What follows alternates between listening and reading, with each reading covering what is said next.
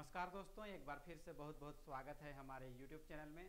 दोस्तों, आज के इस वीडियो में हम चर्चा करेंगे जेएसएससी सीजीएल परीक्षा का एक पेपर टू का एक बहुत ही महत्वपूर्ण विषय है नागपुरी, उसके सिलेबस के बारे में। साथ ही साथ हम देखेंगे कि इसमें अधिक से अधिक अंक कैसे प्राप्त किया जा सकता है और हमें किस किस टॉपिक पर ज़्यादा फोकस करना है। तो चलिए शुरू करते हैं आज का वीडियो। दोस्तों, नागपुरी का जो सिलेबस है वो तीन खंडों में बांटा गया है। तो पहला है खंड क। खंड क में क्या है? इसमें व्याकरण का पोर्शन रखा गया है। व्याकरण के अंतर्गत जितने भी चीज़ आते हैं, संज्ञा, सर्वनाम विशेषण, क्रिया विशेषण, समास, संधि, पर्यायवाची शब्द, उल्टे, उल्टा शब्द, ये सारे चीज़ व्याकरण के अंतर्गत हमें पढ़ना है।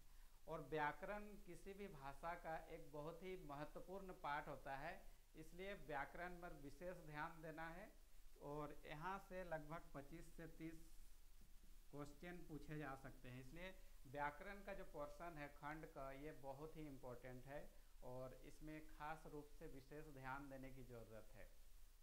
ये आपको ज़्यादा स्कोर करने में मदद करेगा और एक तरह से जिन्होंने हिंदी व्याकरण थोड़ा बहुत पढ़ा होगा, उनके लिए नागपुरी भाषा का जो व्याकरण है वो काफ़ी आसान हो जाएगा। तो इसलिए व्याकरण पर विशेष ध्यान दें और अपनी तैयारी को आगे बढ़ाएँ। दोस्तों, व्याकरण की तैयारी के लिए आपको क्या करना है कि सबसे पहले व्याकरण का जो जितने भी पुस्तक हैं, उसमें से कोई एक पुस्तक को ध्यान से पढ़ें और व्याकरण से संबंधित जो एम हैं, वस्तुनिष्ठ प्रश्न हैं, उनका प्रैक्टिस करें। उससे ज़्यादा से ज़्यादा अंक प्राप्त हो सकते हैं।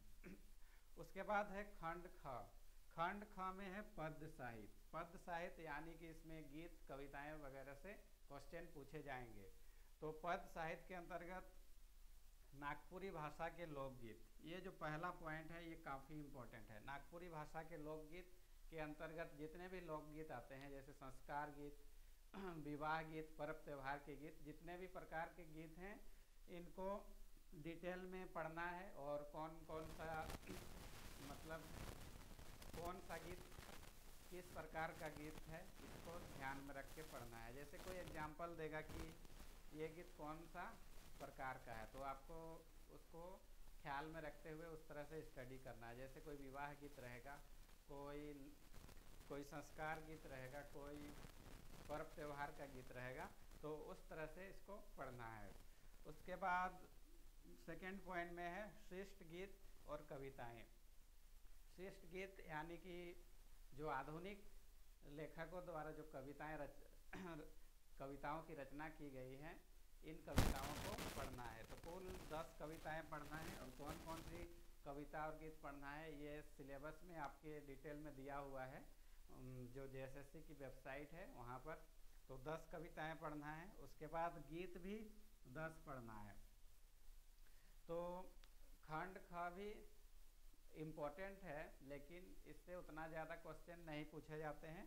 फिर भी इसका जो नागपुरी भाषा के लोकगीत का जो टाइप्स है, उसको अच्छा से देखें। वैसे तो पढ़ना सभी चीज़ों को है, लेकिन हम प्रिफ्रेंस की दृष्टिकोण से दिखा रहे हैं। फ़र्स्ट प्रिफ्रेंस में आपको व्याकरण में फोकस करना है। उसके बाद सेकंड में आपको फोकस करना है खंड ग खंड ग में क्या है? पद साहित्य। दोस्तों, ये सब आपका स्कोरिंग में मदद करेगा। खंड क और खंड ग। खंड ग में क्या है? पद्य साहित्य। पद्य साहित्य के अंतर्गत नागपुरी लोक कथा है। दस लोक कथाएँ पढ़ना है और कौन कौन सी लोक कथाएँ पढ़ना है, ये सिलेबस में दिया हुआ है और उम्मीद करते हैं आप लोग उसको देख चुके होंगे। और यदि नहीं देखे हैं तो जेएसएससी की वेबसाइट में दिया हुआ है। उसको डाउनलोड करके देख लें कि कौन कौन सी लोक कथाएँ पढ़ना है। उसके बाद है शिष्ट कथाएँ। आठ शिष्ट कथाएँ पढ़ना है। शिष्ट कथाएँ जो आधुनिक, जो रचनाकार हैं, जो लेखक हैं, उनके द्वारा जो रचित कहानियाँ हैं, वो कुल आठ पढ़ना है। उसके बाद नाटक। नाटक, एक नाटक पढ़ना है। वो कौन सा? ठाकुर विश्वनाथ शाही के बारे में। ठाकुर विश्वनाथ शाही के बारे में जो बेसिक जानकारी है वो तो सामान्य ज्ञान में भी मिल जाएगी। तो इसमें ठाकुर विश्वनाथ शाही के बारे में इसका जो सामान्य ज्ञान है, इनका जैसे जन्म कहाँ हुआ था, कब हुआ था, इन्होंने क्या किया था, उनके बारे थोड़ा सामान्य ज्ञान भी पढ़ लें और साथ ही साथ क्या करें, ये जो नाटक लिखा गया है, ठाकुर विश्वनाथ शाही बीपी केसरी के द्वारा, इसको भी डिटेल में पढ़ लें। उसके बाद है साहित्यिक निबंध। ये काफ़ी इम्पोर्टेंट है और इस पर खास ध्यान देने की ज़रूरत है। साहित्यिक निबंध में क्या है? नागपुरी के आठ साहित्यकारों एवं उनकी कृतियों का अध्ययन। नागपुरी के जो आठ साहित्यकार हैं, उनका लिस्ट सिलेबस में दिया गया है। उनकी जीवनी को आपको पानी की तरह पी जाना है, उसको एक एक चीज़ याद रखना है, उनका जन्म क्या हुआ था कब हुआ था, कहाँ हुआ था, ये सब उनकी शिक्षा के बारे में और साथ ही साथ उनके द्वारा जो रचित रचनाएँ हैं, उनके बारे में भी अध्ययन करना है। तो दोस्तों, ये जो टॉपिक है, ये थोड़ा आपको लॉन्ग लॉन्ग टर्म याद रखने के लिए थोड़ा टफ हो सकता है, इसलिए विशेष ध्यान देने की ज़रूरत है। साहित्यिक निबंध में, क्योंकि इसमें कुछ याद करने वाली भी चीज़ें हैं, केवल समझ के काम नहीं चले।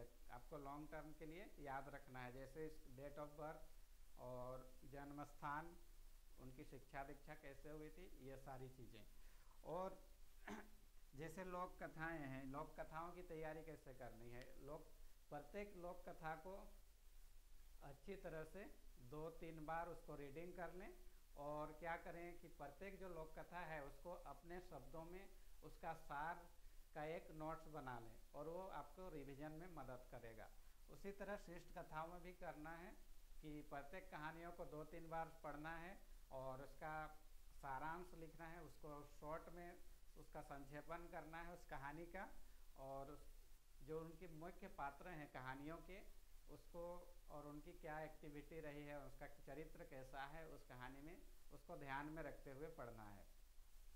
तो दोस्तों, नागपुरी भाषा में आप कितना तक अंक ला सकते हैं? तो किस, कितना तक अंक लाने से आपका सिलेक्शन हो सकता है? तो दोस्तों एक चीज़ याद रखना है कि जो एवरेज स्टूडेंट हैं जो जनरली इसमें स्कोर करेंगे जो जितने भी पेपर टू के, के विषय हैं उसमें साठ से सत्तर का स्कोर जो होगा ये एवरेज कैटेगरी के स्टूडेंट भी ये इतना कर सकते हैं साठ से सत्तर के बीच में। यानी कि जो नेगेटिव मार्किंग है उसको माइनस करने के बाद साठ से सत्तर के बीच में स्कोर आसानी से हो सकता है। लेकिन सत्तर से प्लस करने के लिए और या एट्टी के आसपास जाने के लिए हमें थोड़ा ज़्यादा मेहनत करने की ज़रूरत पड़ेगी। क्योंकि आपको ध्यान में रखना है कि इसमें नेगेटिव मार्किंग भी है और मान लीजिए आप 80 क्वेश्चन सही भी कर देते हैं और 20 आपका रॉन्ग हो जाता है तो आपका मतलब छः सात नंबर तो वहीं पर माइनस हो, हो जाता है। तो 80 में भी आपका माइनस सेवन हो जाएगा तो 73 ही बचेगा। तो इसलिए आपको ध्यान रखना यदि कोई भी क्वेश्चन एकदम आपको मतलब बहुत ही ज़्यादा डाउटफुल है तो उसको छोड़ देना है। और ज़्यादा से ज़्यादा क्वेश्चन की प्रैक्टिस एमसीक्यू क्वेश्चन की प्रैक्टिस ही आपको अच्छा नंबर दिला सकता है। अन्यथा आप 60 और 70 के स्कोर की कैटेगरी में ही रह जाएँगे, जो कि एक एवरेज स्कोर होगा। और आपको थोड़ा अलग करने के लिए आपको 80 प्लस स्कोर ही करना होगा। तो उम्मीद करते हैं आपको ये वीडियो अच्छा लगा होगा। अगले वीडियो में फिर मिलेंगे कोई नए टॉपिक के साथ। तब तक आप अपना ख्याल रखिए। धन्यवाद।